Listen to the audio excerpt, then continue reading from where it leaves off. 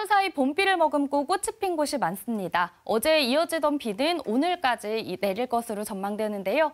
대구와 경북에는 빗방울만 잠시 지나겠고요. 경북 서부 내륙을 중심으로는 오전부터 밤사이 가끔 비가 내리다 그치겠습니다.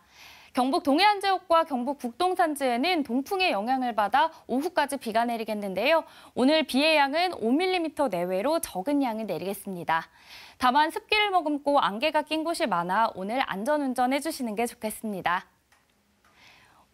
3월의 마지막 날인 오늘 우리 지역 대체로 흐린 날씨 예상되는데요. 미세먼지 농도는 좋음 수준 보이며 공기질은 쾌청하겠습니다. 기온 살펴보시면 대구의 아침 기온 11도, 안동 8도, 구미 14도로 어제보다는 5도가량 높게 출발하는데요. 낮에는 기온이 크게 오르지 못하겠습니다. 대구의 낮 기온 14도, 안동 11도, 구미 14도로 일교차는 없겠지만 오늘 아침과 비슷한 기온 이어질 것으로 전망됩니다. 다만 오늘 비가 내리니까요. 아침에 작은 우산 챙겨 나가시는 게 좋겠습니다.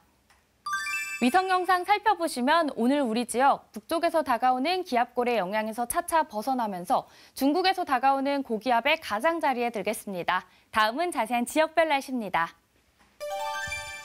대구의 아침 기온 11도, 고령 10도로 시작합니다. 낮 최고 기온은 대구 14도, 고령 16도 보이겠고요.